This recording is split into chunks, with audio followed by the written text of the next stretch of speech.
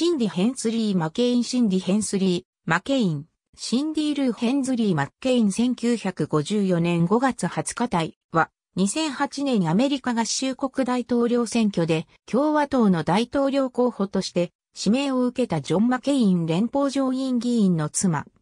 アンハイザー・ブッシュ社の独占販売権を持つヘンズリー &COO の共同経営者の一人であり、事前事業家でもある。アンハイザー・ブッシュ社の独占販売権を持つヘンズリー &CO の創業者であるジェームス・ヘンスリーを父に持つシンディ・ヘンスリーはアリゾナ州フェニックスに生まれる。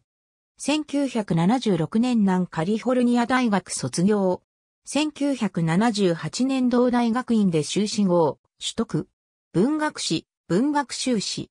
1979年4月ハワイにて、ジョン・マケインと出会い、交際を深め、1981年5月17日にアリゾナ州で結婚。1984年10月長女メーガン、1986年5月長男ジョン、1988年5月次男、ジェームスを設ける。1988年に医療を主体とした慈善団体を設立し、戦地や第三国の救急医療支援事業を行い、合わせて児童への食料支援を行う。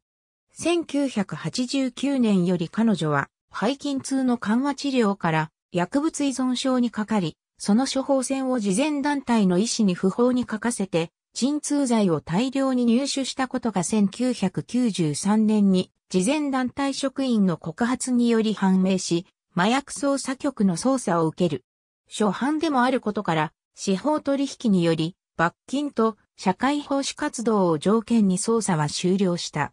2020年9月22日、2020年アメリカ大統領選挙では民主党候補のジョー・バイデンを支持することツイッターで表明した。シンディ自身は共和党員であり、夫のジョンも何度かジョー・バイデンと熱い議論を戦わせるなど考え方をこととする立場であるが、彼は善良で誠実な人物だとして評価。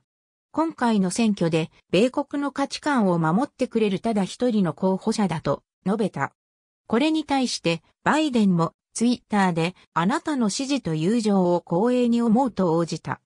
彼女が党派をことにするバイデンの支持を決意したのは、トランプが故マケイン上院議員を度重なって侮辱し、さらに戦没兵をマケイヌ呼ばわりしたためという。結局大統領選挙でトランプはアリゾナを落とし、選挙戦全体でも敗北し、落選、バイデンが当選を果たした。この法に接してシンディは夫も喜んでいると思うとコメントを出した。アリゾナ州は1948年以来共和党が優勢で、1996年にビル・クリントンが僅差で取ったことはあったものの、基本的に共和党候補が取る州だったので異例の結果だった。